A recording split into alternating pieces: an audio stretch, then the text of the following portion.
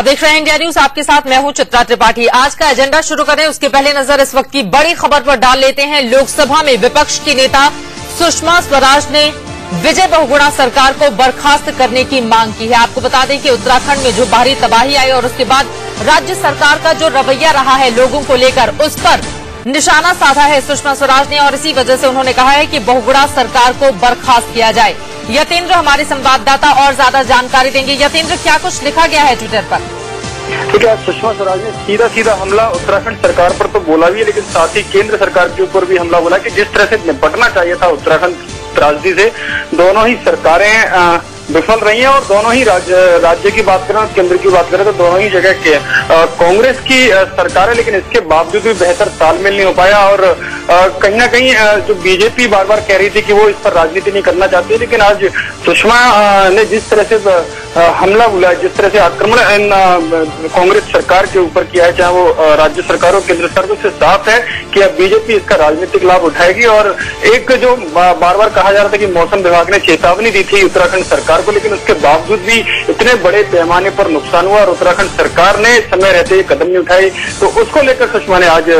पलटवार एक तरह से उत्तराखंड सरकार और केंद्र सरकार के ऊपर किया है। बिल्कुल, सीधे केंद्र सरकार को भी निशानी पर लिया है और ये कहा है कि केंद्र सरकार भी पूरी तरह से नाकाम साबित रही है इस आपदा से निपटने में। और स्थिति जिस तरह की बनी हुई है, आज पंद्रहवा दिन है, उसके बावजूद भी उत्तराखंड में हाल बेहाल है। बहरहाल, इसके साथ ये भी जानना चाहेंगे, सुषमा स्वराज ने तो ट्वीट कर दिया है, लेकिन इसके प्रतिक्रिया स्वरूप कहीं और से कांग्रेस पार्टी की ओर से कोई प्रतिक्रिया दी गई है क्या इस मामले में?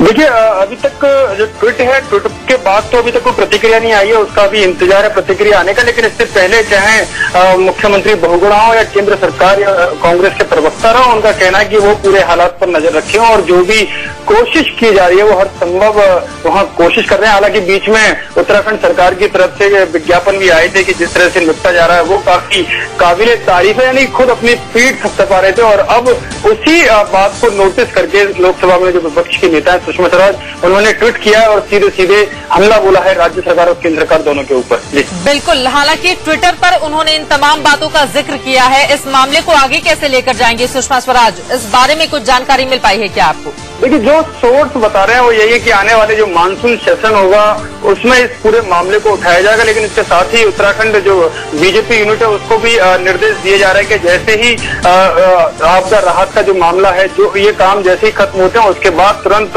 इस पर उत्तराखंड सरकार को घेरने की पूरी एक रणनीति तैयार की जाएगी और कहीं ना कहीं एक ठीकरा केंद्र सरकार के ऊपर भी ठोका जाएगा पूरा उसका श्रेय अगर केंद्र सरकार भी न ले, क्योंकि सुप्रीम कोर्ट को भी इसमें निर्देश देने पड़े थे। तो इन तमाम पहलुओं पर बीजेपी चर्चा कर रही है। और जल्दी ही इन इन मुद्दों को लेकर उत्तराखंड सरकार को तो बीजेपी घेरेगी, लेकिन पूरे केंद्र सरकार को भी घेरेगी और एक पूरा एक मैसेज देने की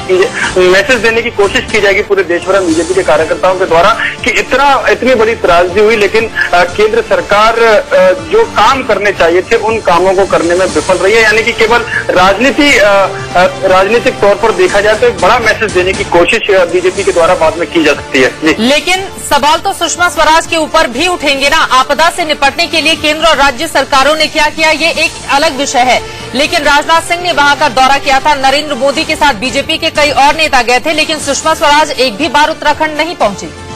देखिए बिल्कुल ये उत्तरा चाहे सुषमा स्वराज हो या अरुण जेटली हो, इन तमाम दोनों विपक्ष के नेता हैं और एक जिस तरह से इतनी बड़ी त्रासदी आई तो पूरे देश भर के नेता उत्तराखंड गए अपने पीड़ितों को बचाने के लिए हर संभव मदद की कोशिश की, लेकिन दोनों नेताओं की तरफ़ से कोई बयान भी नहीं आया। अभी एक महिला मोर्चा का कार्यक्रम दो दिन पहले ही दिल्ली में हुआ था, जिसमें एक बुक रिलीज़ में सुषमा स्वराज आई थी, और उनसे जब उत्तराखंड के बारे में पूछा गया था तो वो बिल्कुल मौन धारण रखी है। इनकी उनका जो कह सकते हैं कि वो राजनीति राजनीति का एक राजनीतिक कमेंट देने से भी बचती रही लेकिन अब वो जिस तरह से आई है तो कहीं ना कहीं राजनीति करने का उनका जो इरादा है वो इसमें साफ़ झलक रहा है। जब बात उत्तराखंड जाने की आती है पीड़ितों के बीच में जाने की बात आती है तो ना सुषमा स्वराज मौजूद होती है और ना अरुण जेटली मौजूद होती है। तो दोनों जो विपक्ष के बड़े नेता हैं दोनों इस त्रासदी के समय गैर हाजिर रहे हैं उस वक्त। जो जो, जो पीड़ितों को संभव हर संभव मदद देने का रहना चाहिए था उस समय। चलिए शुक्रिया यतेंद्र इन तमाम जानकारियों के लिए। राजनीति राहत पर नहीं होनी चाहिए और खास करके जब आपदा की स्थिति हो, लेकिन यहाँ पर एक बार फिर से नई तरह की राजनीति शुरू होती हुई, क्योंकि सीधे सीधे लोकसभा में नेता विपक्ष सुषमा स्वराज ने निशाना साधा है केंद्र और राज्य सरकार पर और बहुगुणा सरकार को बर्खास्त किए जाने की मांग की है ट्विटर पर।